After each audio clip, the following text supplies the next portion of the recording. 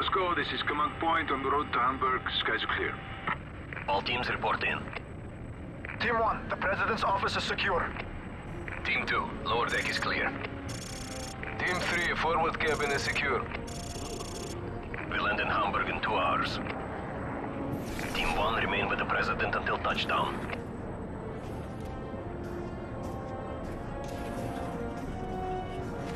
Vasily's waiting for you, father. He's expecting an answer from me. Team 1 moving. I don't like him. No one does. That's why he's good at his job. What will you tell him? The truth. He won't want to hear it. He has no choice. I'm the president. I'll see you at dinner.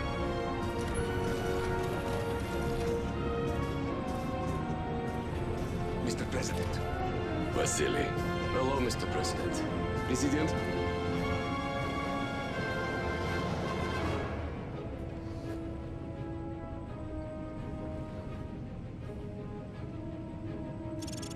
Gentlemen, we have only two choices. Peace or war. Life or death. For the sake of our children, we must seek peace with the West. Mr. President, now is not the time to appease our enemies. We destroy our enemies when we make friends with them. If we cannot end our differences, at least That's gunfire! Hijackers are taking the plane! The cockpit's been Mr. breached! President, get down! Team 3, status report! We need backup! Fire! Down Team 3, Fire! report! There's fire! Everyone down! Protect the President! Code Red! I repeat!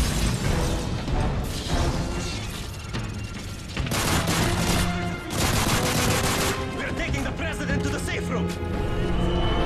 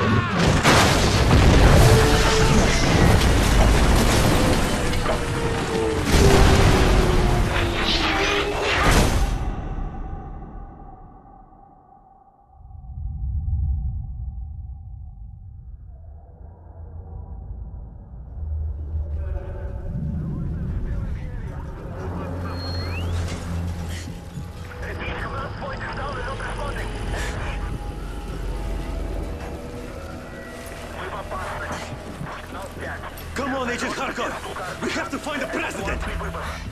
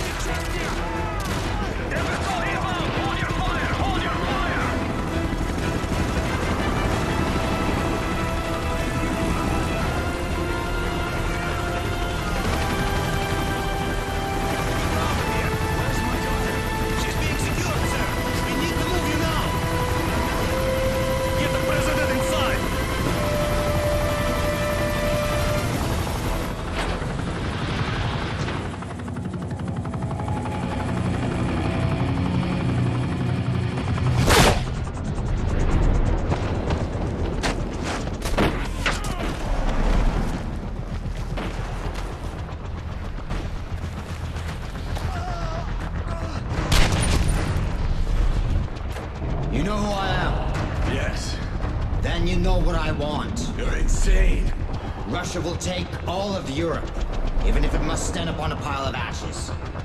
I want the launch codes, Mr. President. Never get them. Every man has his weakness. Find the girl.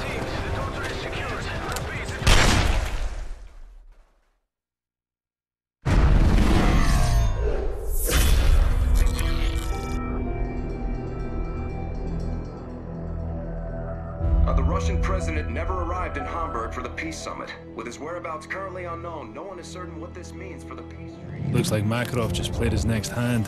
If he puts himself back on the grid, he wants it to be known. So where do we start hunting?